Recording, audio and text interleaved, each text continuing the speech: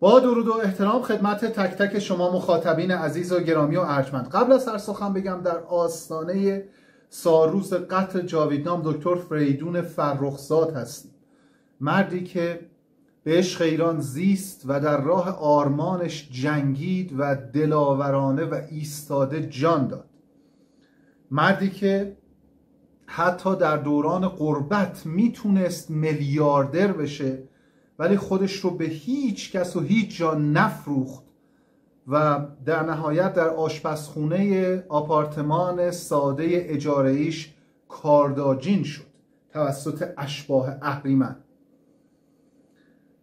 و روزی که پیکر پاکش رو از خونش می بردن دو تا قاب عکس در اون خونه بود که ارزش اون دو تا قاب عکس از تمام میلیون دلار فاند هایی که جمهوری اسلامی در تبعید و نوچه ها و نوکران اندیشکده های اجنبی و اینها می‌گیرند بالاتر بود. اون دوتا قاب عکس قاب عکس شاهان ایرانساز پهلوی بود که این مرد بزرگ میهن پرست پادشاهی خواه روزی که پیکرش رو داشتن از خونش میبردن بیرون در کنار سایر اعضای خانواده اون قاب عکس ها رو در خونش قرار داده بود. برنامه ای رو من ساختم در گذشته یک مستند چهار ساعت و نیمه هست با نام مستند ققنوس تاریخ حقایق زندگی جاویدنام دکتر فیدون فرخزاد از تولد تا قتل که حاصل بیش از دو سال تحقیق و بررسی درباره زندگی جاویدنام دکتر فریدون فرخزاد بوده. لینک اون برنامه رو هم در description و هم در اولین کامنت قرار میدم که اگر ندیدید حتما تماشا بفرمایید. اما بریم به سراغ مسئله امروز. ببینید چیزی که می‌خوام در موردش صحبت کنم فراتر از اصل ماجرای کتلت شدن اسماعیل هنیه. و اون بحث disinformation هست. البته که برنامه که امروز دارم می‌سازم بر اساس جنجالی است که نفوذی های جمهوری اسلامی در رسانه های بزرگ جهان به پا کردن و دارن disinformation رو تزریق می‌کنن. برخی دوستان میگن که چرا مثلا عبارت disinformation رو بکنیم باید مثلا بگیم اطلاعات غلط که فارسی رو پاس بداریم به اصطلاح. بعضی اصطلاحات در عالم سیاسی واقعا باید اون اورجینالش رو به کار برد. ببینید یه چیز کلی. بارها دیدیم شنیدیم خوندیم تیترهایی رو دیدیم که مثلا نیویورک تایمز می‌گوید فلان. مثلا چه می‌دونم CNN می‌گوید فلان. بی بی سی می‌گوید فلان. خب اینا رو هممون شنیدیم. اما یه چیزی که باید هممون همیشه حواسمون باشه این است که اینها وحی نیستن. حالا من اصطلاح وحی نیستن رو به کار می‌برم وگرنه من خودم آگنوستیکم و اعتقادات مذهبی ندارم ولی وحی نیستن. و باید بدونیم که این که فلان رسانه فلان گزارش رو داره پخش می‌کنه این ابدا به معنی صحت و سقم قطعی اون نیست. ببینید من یه متنی نوشتم براتون می‌خونم بسیارم مهمه. یکی از خدمات ترامپ دانالد ترامپ به بشریت جا انداختن عبارت فیک نیوز بود. البته این رو نباید فراموش کرد که شخص اعلیحضرت شاهنشاه آریامهر حدود پنجاه سال پیش در مورد این disinformation در رسانه های اصلی بزرگ جهانی صحبت کردند. در این هیچ بحثی نیست. منتها خب در عصر معاصر در جهان امروز دونالد ترامپ در سالهای اخیر عبارت fake news رو جا انداخت که باعث شد خیلی ها که به گزارشات رسانه های بزرگ به چشم وحی نگاه می‌کردن دیدشان بازتر شد. قطعا به کار بردن اصطلاح احمقهای به درد بخور که خبرچین سابق کاگبه یعنی بزمنوف اون رو به کار برده بود. توسط بنیامین نتانیاهو در سخنرانی آخرش در کنگره که اشاره به نفوذ هدفمند پروپاگانداچیا در قولهای رسانه‌ای دارد باید تلنگر مجددی برای انسانهای مستقل باشد جدا از جهتگیری های خاص مجموعه نیویورک تایمز حداقل ما ایرانی ها باید یک چیزی رو بدونیم. وقتی عبارت به گزارش نیویورک تایمز رو میشنویم سریع بگید صبر کن صبر کن آیا نویسنده این گزارش فرناز فسیحیه؟ فرناز فسیحی عملا مسئول بخش ایران نیویورک تایمز است. او در تخریب ترامپ مراسم قاسم سلیمانی را دریای بیکران جمعیت ایرانی ها برای ژنرال محبوبشون خواند بعد از ترور فخریزاده در تطهیرش نوشت مردی که عاشق زندگی نرمال علاقه‌مند به شعرهای ایرانی و مردی خانواده دوست بود که با خانواده به ساحل دریا می‌رفت و ترجیح می‌داد خودش به جای هایش رانندگی کند را کشتند. یعنی اینطوری داشت تعطیر می‌کرد. همین فرناز فسیحی درباره کرونا از رضایت نزدیک به 80 درصدی ایرانی ها از عملکرد جمهوری اسلامی نوشت. و وقتی نهایتا در نوع پوشش قیام ملی ایرانیان با واکنش کاربران ایرانی روبرو شد که او را به وارونه جلوه دادن وضعیت مردم و حکومت متهم کردن جیغ بنفش کشید که چون من زن هستم می‌خواهند مرا به شکل آنلاین آزار جنسی بدن. و بلافاصله از سمت جیسون رضایان نایاکی و سیاوش اردلان بدنام آیت الله بی بی سی و غیره هم مورد حمایت قرار گرفت. در خصوص ترور هنیه او او یعنی فرناز فسیحی نوشته به نقل از منابعش یک بمب از دو ماه پیش در محل اقامت هنیه در تهران کار گذاشته بودند. و این روایت دارد به عنوان گزارش نیویورک تایمز در سطح جهانی دست به دست می شود در صورتی که حتی خود اعضای حماس اصابت پرتابه به اسماعیل هنیه رو تایید کردند. هرچند آش فسیحی و منابعش آنقدر شور شد که خبرگزاری فارس که این رو باید بدونیم. این رسانه خبرگزاری فارس فقط مصرف داخلی داره برای ایرانیان برد جهانی نداره مثل مثلا نیویورک تایمز و اینا. اونم حتی این بار نتونست تکذیبش نکند و در عمل گفتش که اصابت پرتابه رو تایید می‌کنیم ولی برد گزارش فسیحی در قول رسانه نیویورک تایمز دیگر اثر خود را در افکار عمومی جهانیان گذاشت. کار اینا اینه دیگه. یعنی یه dis رو میرن پخش می‌کنن و دیگه اثرش رو می‌ذاره. حتی اگر یک رسانه local کشوری هم بخواد بعدا مثلا تکذیب بکنه. برخی معتقدند مالکشی بر ضعف پدافندی یکی از اهداف او بود. برخی دیگر معتقدند او و منابعش خواستند با جا انداختن روایت بمب بحث را از عملیات نظامی خارجی به ترور داخلی توسط نفوزی ها تقلیل بدن. تا در افکار جهانی جمهوری اسلامی نیازی به پاسخ متقابل نظامی نداشته باشد. برخی هم این گزارش رو ناشی از منابعی می‌دونند که یک سوی درگیری داخلی سازمانهای موازی وزارت اطلاعات و اطلاعات سپاه و یا مخالفین و موافقین پاسخ هستند. یه بحث این رو داشته باشید.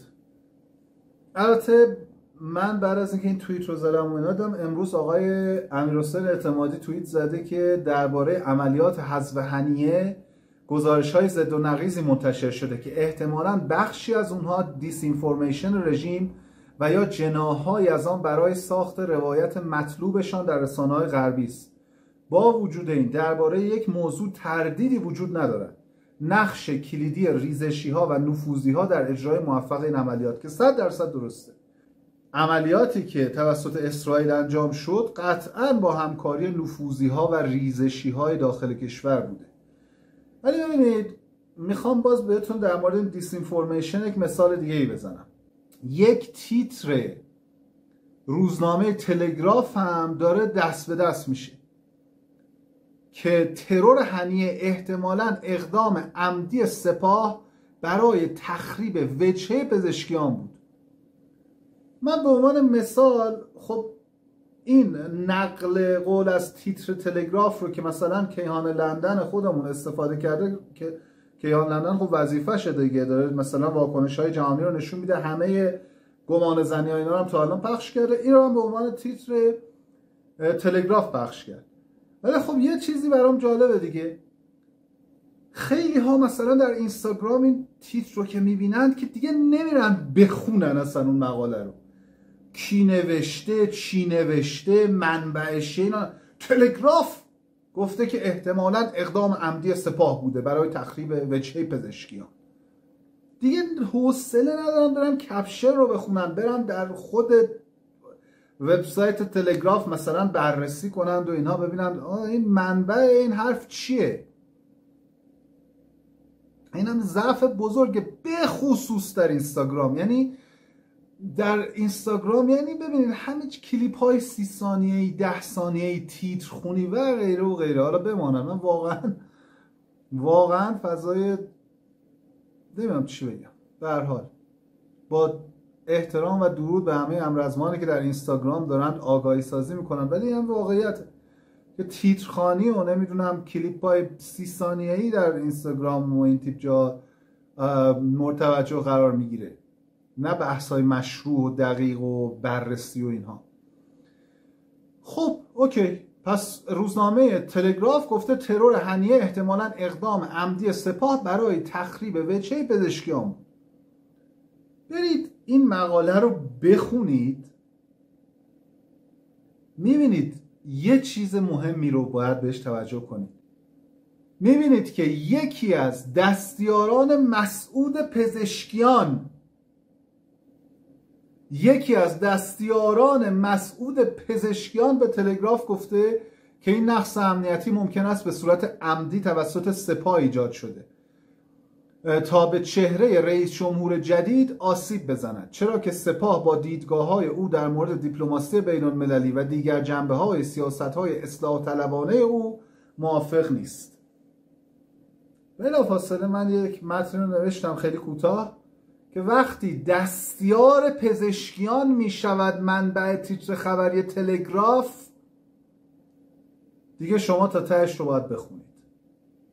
شما میرید اون اون تیتر رو می‌بینید بعضا برخی از هموطنان که مثلا سر تلگراف دو نقطه ترور هنیه اقدام عملی سپاه بود. دیگه منبع این گزارش کجاست؟ از کجا خط گرفته که نوشته اینا رو که برخی بررسی نمی‌کنن. دستیار پزشکیان شده منبع برای این قضیه.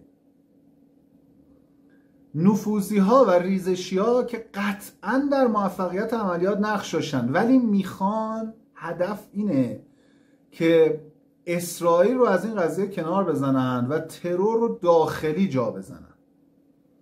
تا از یه طرف در دید جهانیان تحقیرشون رو توجیه کنن چون انتقام واقعی هم نمی‌تونن بگیرن. هر انتقامی بخوان بگیرن انتقام نمایشیه. و در این مورد صحبت می‌کنم. ضمنا دوگانه اصلاح طلب اصولگرا و تندرو کندرو هم باید باقی بمونه. یعنی اینا باید همچنان در صد رسانه های دنیا بگن بله یک اختلافات داخلی عمیقی وجود داره. یک جناح تندروی نمی‌دونم سپاه و اینا هست. یک جناح کندروی معتدل اصلاح طلب هست. و خب این این دوگانه سازی همیشه به نفع اساس جمهوری اسلامی بوده دیگه. در این که در عملیات اسرائیل نفوذی ها و ریزشی ها شک نقش داشتن شکی وجود نداره. معلومه که نقش داشتن. ولی این که بخوان اون دوگان سازیه رو بسازن که نیروهای تندو در جمهوری اسلامی برای تخریب پزشکیان مثلا اومدن و این طرح ترور رو اجرا کردن این مشخصه. هدفمنده مشخص دیس اینفورمیشنه پزشکیان خودش نوکر حلقه به گوش قلاده به گردن شخص علی خامنه ایه حرامزاده کسافته. پروپاگاندای جمهوری اسلامی در سطح بین المللی همیشه متفاوت بوده. با پروپاگانداش در سطح داخلی که تنها مصرف داخلی داره. خیلی از مواقع شاید بشه گفت اکثر مواقع جمهوری اسلامی در بحث بین الملل نفوزی هاش در رسانه های بزرگ یک جور خط دهی رسانه ای می‌کنن. در داخل برای مردم خود ایران برای مصرف داخلی یک جور دیگه عوامل رسانه ایش خط دهی می‌کنن این قضیه رو باید در نظر گرفت. بعدم ببینید متاسفانه یه جویه در جامعه ما که مثلا وقتی آدم داره درباره ماجرای صحبت می‌کنه من اعتقاد قطعی دارم که این عملیات کار اسرائیل بوده. مشخص همه شواهد همه مسائل و وحشت علی خامنه ای از این ماجرا همه اینها مشخصه. منتها خب این که یه کاری یک اقدام کار اسرائیل بوده و باید مراقب باشیم که دیسینفورمیشن دلخواه جمهوری اسلامی در این مورد در سطح بین المللی گولمون نزنه این قضیه یه چیزیه که اتفاق افتاده. من می‌بینم بعضا مثلا در این موارد که آدم صحبت می‌کنه بعض از هموطنان میان می‌نویسن حالا مثلا اسرائیل منجی ماست. حالا اسرائیل مثلا چه می‌دونم خیلی خودش به اصطلاح علیه سلامه من ربط این دو تا قضیه نمیفهم. بعدشم من شخصا دیگه خسته شدم. واقعا خسته شدم. و می‌دونم برای شما هم خسته کننده میشه. از اینکه یه مسئله رو بخوام تکرار بکنم. نه من نه هیچ انسان آگاهی نه هیچ فرد هموطن میان پرستی به هیچ خارجی هیچ اعتمادی نداره. هیچ خارجی را منجی در نظر نمی‌گیره. می‌خواد نتانیاهو اسرائیل باشه می‌خواد دونالد ترامپ و حزب جمهوری خواه باشه و اینها. حالا شما یه جور دیگه برداشت می‌کنید برداشت خودتون رو بکنید ولی واقعیت اینه بنده حداقل شخصا عقیدم اینه. و می‌دونم که هموطنان و میان پرست عقیدهشون اینه. منتها یه چیزی رو هم بهتون بگم. ببینید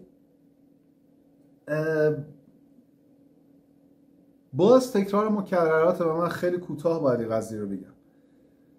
خودم شخصا دیگه خسته شدم از این قضیه که ما خودمون رو ایزوله کنیم و هر اقدامی که هر حزبی هر کشوری و هر فردی در سطح جهان هر فرد حزب و کشور خارجی در سطح جهان برای مسائل و منافع خودش انجام میده رو که ممکنه اون اقدام مسیر ما رو برای رسیدن به آزادی هموارتر بکنه رو ندید بگیریم و بگیم که نه هیچ اهمیتی نداره. هرچند نمی‌دونم چجوری کسی می‌تونه این حرف منو باور کنه یا نه. به هیچ خارجی اعتماد ندارم. همین اسرائیل همین دونالد ترامپ ممکنه. پس فردا بدترین کارها رو بر علیه منافع ماها میهن برستان انجام بدن بر علیه منافع ایران انجام بدن. ولی الان در این موقعیت در این شرایط داریم می‌بینیم که اسرائیل کاری رو داره انجام میده که به نفع ماست. دونالد ترامپ اومدنش به نفع ماست وقتی اون طرف کاملا هریسه و وقتی یه چیزهایی به نفع ماست آگاهانه با ذهن باز بدون اعتماد به خارجی بدون دلبستن به خارجی بدون منجی در نظر گرفتن خارجی باید از اقدامی استقبال کنیم وقتی به نفع ماست. شما اقدامات رضاشاه دوم رو در نظر بگیرید دیگه. کار درست سیاسی میشه این اقدام رضاشاه دوم. در برنامه قبلم گفتم. چه در بحث سفرشون به اسرائیل دیدارشون با نتانیاهو؟ و چه در بحث شرکتشون در انجمن کانسرواتیف ها در ایالات متحده آمریکا؟ سخنرانیشون قبل از سخنرانی معاون اول دونالد ترامپ. و فقط یه چیز دیگر هم براتون پخش کنم اینم جالبه. شما نگاه کن بی بی سی فارسی بنگاه لجن پراکنی بی بی سی فارسی تروریست خونخاری به نام اسماعیل هنیه رو که قتل و کشتار و گروگانگیری هفت اکتبر یکی از اقداماتش به عنوان فرمانده حماس بوده چطور میان رو و عملگرا معرفی می‌کنه. یعنی یه تروریست وحشی آدمکش خونخوار از دید بی بی سی فارسی میان رو و عملگراست. بعد اون وقت رضا شاه دوم و پادشاهی خواهان و اینها فاشیست و راست افراطی و فلان و اینا هستن. سرخط خبر. بیشتر به ما بگین از شخصیت آقای هنیه. می‌دونیم که فردی میانه رو بوده و بین گروه های مختلف فلسطینی ارتباط خوبی داشته و عملگرا بوده. نبود او چه تأثیری می‌گذاره روی حماس؟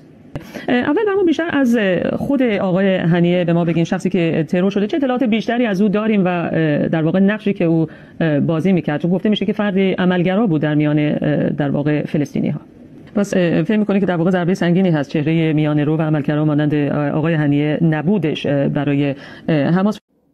اون چیزی که در کل مهمه اینه که این قضیه dis رو بهش اهمیت بدید. وقتی یک جایی جدا اصلا از این قضیه اسماعیل هنیه و این مسائل اخیر و اینها شما می‌بینید تیتری زده شده مثلا به نقل از مثلا نیویورک تایمز به نقل از مثلا چه می‌دونم یورو نیوز به نقل از مثلا نمی‌دونم تلگراف هر لوموند هر چیزی. ببینید اولا نویسنده کیه. دوما بخونید ببینید منابعی رو که اون تیتر بر اساس اونا میاد از کجا در میاد. اینا که وحی نیستن که. اونم یه خبر یه آدمه دیگه. اونم یه خبرنگار اونم یه آدمه یه سردبیر داره یه فلان داره. همشونم اهداف سیاسی خاص خودشون پیگیری می‌کنن. بدون استثنا. وحی که نیستش که. حالا من بازم تکرار می‌کنم مذهبی نیستم ولی اصطلاح دارم میگم. و البته درباره این پاسخی که اینا خواهند داد ببینید این قطعا یک پاسخ نمایشی خواهد بود. قطع به یقین اصلا جمهوری اسلامی توان یک پاسخ درخور به اسرائیل رو نداره. و همین هم داره میسوزونتش. این حدی که اینا به حقارت رسیدن داره میسوزونتشون. و من این مطلب تنزی نوشتم. در انتهای برنامه به اونم اشاره می‌کنم. نوشتم که وعده صادق یک عملیات با شکوه وعده صادق یک باعث شد که یک مارمولک و دوستش در دشت ها و بیابون های اسرائیل مرحوم بشن. کسانی که دقیقا شب وعده صادق یک حضرات برنامه یوتیوب من رو دیده بودن می‌دونن در مورد مرحوم موچو و دوستش دو تا مارمولک بیابان ها و دشت های اسرائیل صحبت می‌کنه. و خبر رسیده که الان که بحث وعده صادق دوی حضرات در جریان است مارمولک های دشت ها و بیابان های اسرائیل برای سفر تابستونه تصمیم گرفتن برن به شهرها چند روزی. قطعه به یقین انتقام سخت و پاسخ بزرگ جمهوری اسلامی به این سطح از حقارتی که چشید چیزی غیر از یک نمایش مجدد یک شوی مجدد فقط برای ارزای روحی عرازشه نخود مغز خودشون نخواهد. در زیر یکی از این برنامه های یکی از کانال های ارزشی در یوتیوب کامنت های این ارازشه رو داشتم میخوندم خیلی جالب و بامزه بود. چند تاشون رو براتون بخونم. خاک تو سر ما فقط حرف. حالا که دیگه مستقیم پایتخت رو زدن. من که همه جام از جاهای دیگرم بیشتر میسوزه. اون یکی نوشته از بس ضعف خود رو توجیه کردید و همش توهم کاری کردین حالا باید تو تهران بخوریم. بله ما فقط می‌تونیم مقدانی رو بزنیم. او یکی نوشته بهتر کم کم کمتر منم منم کنیم. اینطور نیست. ارازشن ها اینا در برنامه یکی از این ارزشی ها در یکی از کانال هاشون در یوتیوب است. تازه فهمیدم اسرائیل چقدر قدرت داره. هر شخصیتی رو بخواد تو ایران می‌تونه بزنه. با سلام مگه نگفتن مگس روی هوا می‌زنیم؟ چی شد پس؟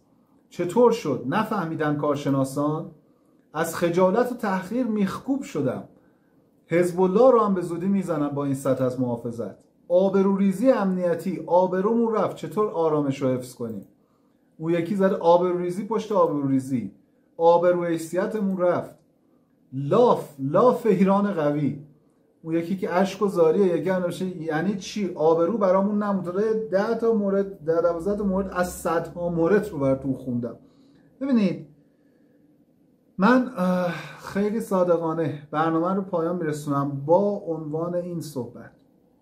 خیلی از چیزهایی که در مورد اسرائیل هموطنان میان پرست مطرح می‌کنن رو کسانی که مخاطب قدیمی من بودن می‌دونن من جز اولین کسانی بودم که در کانال یوتیوب هم در موردشون صحبت کردم.